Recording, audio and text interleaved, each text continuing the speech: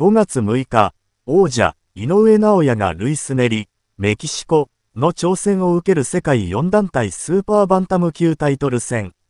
34年ぶりに東京ドームで行われるボクシングの世界戦として注目を集めるが、戦前から囁かれるのは、井上の圧倒的な強さだ。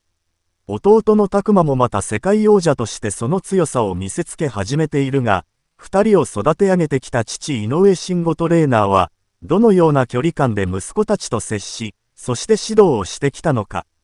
写真で迫る、怪物、井上直也の日常トレーニングデイズ2023。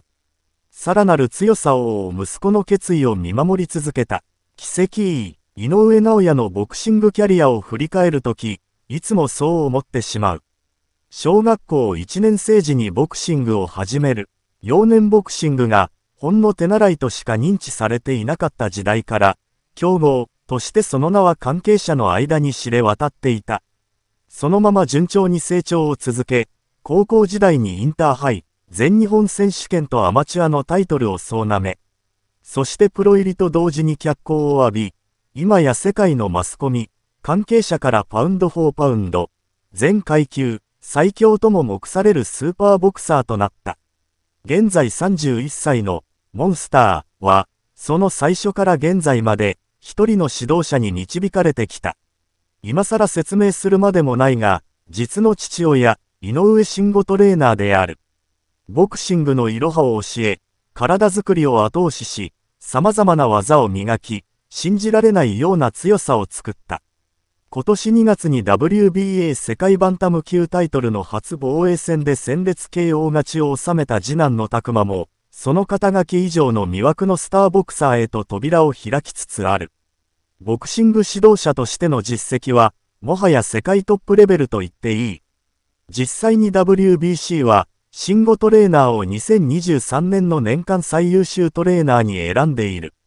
そして冒頭の言葉、奇跡の理由について。何よりも、このシンゴトレーナーには、それ以前にボクサーとしての実績、指導の経験は皆無に等しかったのだ。極真空手の経験はあったものの、ボクシングを始めたのは遅く、アマチュアで2戦しただけで実戦から遠ざかった。家族を持ち、本業の内装業に本腰を入れるためだ。ボクシングを完全に捨て去ったわけではない。わずかにできた時間に自宅でトレーニングした。その姿を見て、自分もやりたいと言い出したのが、直哉、拓磨のサクセスストーリーの始まりだ。よくありがちな話なのかもしれない。違ったのは、幼い興味に対して、やるなら、中途半端はダメだよと軽くいなす父の言葉が、実は本気の本気だったこと。常に危険が近接するボクシングは、生半可な気持ちで立ち向かうものではない。短い実践経験しかなくても、慎吾トレーナーには譲れない信念があった。やがて息子たちのためにアマチュアジムを作る。ジムワークや厳しい走り込みはもちろん、様々な自作トレーニングも取り入れた。自動車を後ろから押して坂道を登る。自宅2階からロープを垂らし、よじ登る。そういった野手あふれる日課は、ちょっとした話題にもなった。もっと大事にしたのが実践である。小学校高学年になり、スパーリング大会にも出場するようになる。中学生になってからはプロのジムに出向いて、格上に立ち向かった。試合では当然なのですが、基本的にはスパーリングでも全て勝つのが目的でした。こちらは直哉の証言だ。必勝の思いを遂げるためには、一戦一戦、おろそかな気持ちで臨むことはできない。どんな時も高い緊張感、気迫とともにグローブを握った。だから、今の井上直也、そして拓磨があると慎吾トレーナーはいつのインタビューでも繰り返す。すべての経験が直哉の体内にあるんです。いつも傍らに置いていて、いざとなったらすぐに取り出せる。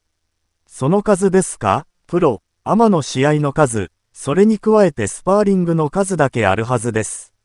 うまくいった時、そうでなかった時、いつもジムに持ち帰り、トレーニングで反数した。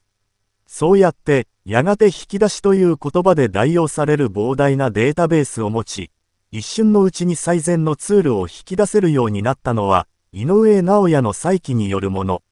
しかし、ベースをしっかりと作り上げたのは井上慎吾トレーナーの熱意とアイデアにあるのは間違いない。井上家は、天才という言葉を嫌う。一夜で魔法のように気づかれる強さなんてあるはずもない、と。大げさに言えば、小学校1年生の時からコツコツの積み上げてきたもの。それが今の直哉の実力じゃないですか。ボクシングファミリーは珍しくない。親子、兄弟すべてがボクサーだったり、トレーナーだったりする、いわゆるボクシングファミリーは、古今、珍しくはない。不死で目指した世界チャンピオンの夢物語はいくらでもある。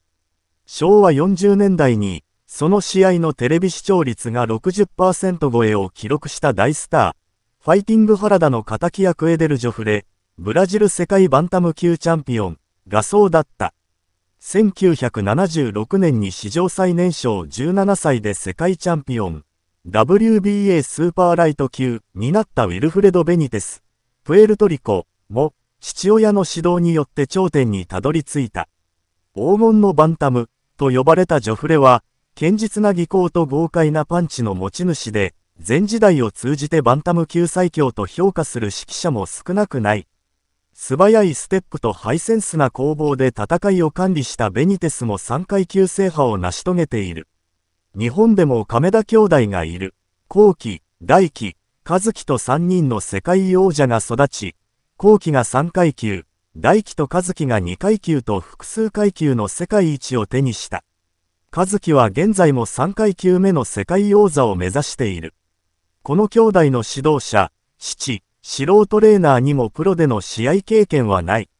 海外の現役でも WBC 世界スーパーミドル級暫定チャンピオン、デビッド・ベナビデス、アメリカ、がそう。父ホセ・ベナビデスシニアの英才教育の下で育った。大柄な体からゴーダをぶちまける凶暴なファイトスタイルが持ち味だ。圧倒的な観客動員力を誇るサウル・カネロ・アルバレス。メキシコイコール4団体世界スーパーミドル級チャンピオンの最大のライバルとみなされている。メキシコからの移民だったホセシニアは過酷な少年時代を過ごした。長男のホセジュニアが誕生するとこの子に世界チャンピオンの美しい人生を送らせたいと夢を託した。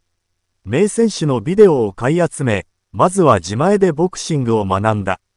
息子を引き連れてマニー・パッキャオ、フィリピンのキャリアをガイダンスしたフレディ・ローチ、ゲンナジー・ゴロフキン、カザフスタンら有名トレーナーのジムを暗夜した。そして、長男のホセジュニアを WBA 世界ウェルター級暫定チャンピオンに育てた。ついで弟のデビッドも20歳でプロのトップにまで連れて行った。